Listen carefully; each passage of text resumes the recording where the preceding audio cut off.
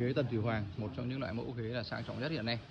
Với thiết kế là phần ờ, cột là cong cong đều Đấy, nhìn nó rất là trường cái ghế. Và trương ghế thì là trương liền Đấy. cái trương ghế là rất là to ghế trương liền.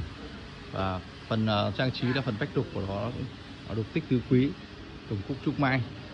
Đó, và cả giữa là sinh chữ cây sinh chữ phúc lộc thọ rất là đẹp nhé cái mẫu ghế Tần Thủy Hoàng này thể hiện là đẳng cấp trang trọng quyền huy cho gia chủ thì, uh, sử dụng. Ờ, tôn táng à, tôn à, không gian phòng khách lên rất là nhiều. Phòng khách đẹp hơn là rất là nhiều luôn.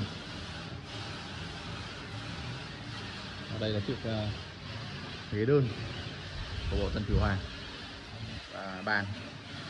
Mặt bàn thì được ờ, bức tranh là thuận bùa xuôi gió. Anh chị em yêu thích những cái đồ gỗ mỹ nghệ cao cấp có thể tham khảo. Đấy, bộ sản phẩm bàn ghế Tân Thủy Hoàng. Của Phạm gia sản xuất đây.